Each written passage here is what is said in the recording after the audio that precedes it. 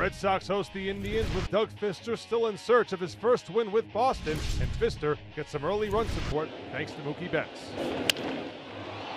Luke to center field. That's going to drop in. It's a base hit. That's going to score two. Mookie Betts coming through. RBIs 64 and 65. And the Red Sox capitalize here in the second inning. Hot shot, fair ball. That carries back into left. Betts is in to score. Here comes Brock Holt. The throw to the plate, though, is going to get him. So the Red Sox take a 3 to nothing lead.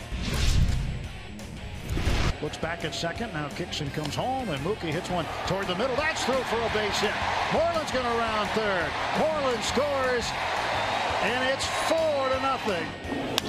Grounds it to the left side of base hit. Vazquez will score. It's five to nothing Boston. Second RBI of the game for Eduardo Nunez. Doug Fister through six innings. He's allowed just three hits. Swung on and missed, and Encarnacion goes down on strikes. Swing and a miss, strike three, and Fister just cruising here tonight.